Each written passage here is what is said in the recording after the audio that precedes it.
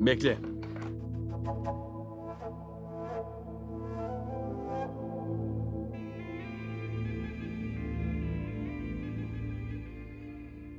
Hmm, şimdi iç. İçmeden önce kontrol etmem gerekiyor. Kim bilir kim bıraktı, ne zamandır burada. İçinde bir şey olmasın. Hadi iç.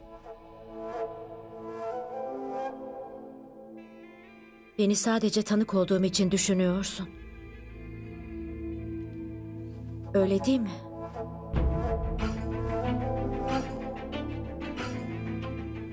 Aklın başına geldi demek. Doğru bildin. Hı?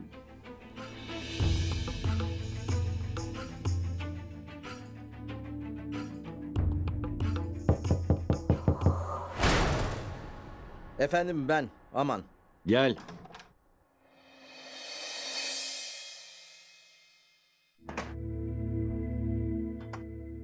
Bu benim bavulum. Evet. Düğün konvoyunun içindeydi. Binbaşım kıyafet lazım deyince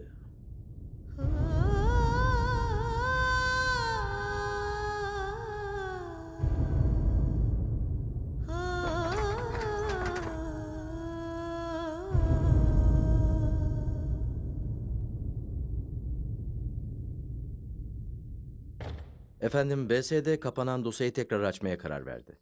Ama bu kez size karşı açıyorlar. Yani gerçek niyetinizin ülkeyi korumak olup olmadığına dair Anlatırken bu kadar gerilmek zorunda değilsin. zorundayım. Parvati bize nasıl yardım edecek? Hala en ufak bir şey anlatmadı. Anlatacak. Onu hafife almam. Kendini biraz geç topladı ama inan bana. O bu iş için biçilmiş kaftan.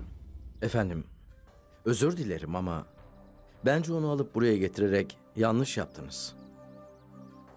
Evinizde kalırken çok daha güvendeydi. O evde onu henüz kimse görmemişti. Orada daha fazla kalamazdık.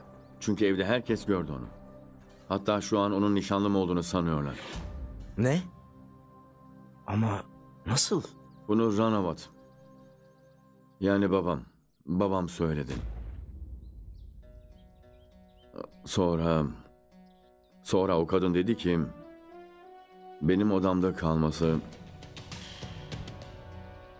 Her neyse. Uzun hikaye. Ben özür dilerim. Şey, bir an önce karargaha dönmeliyiz.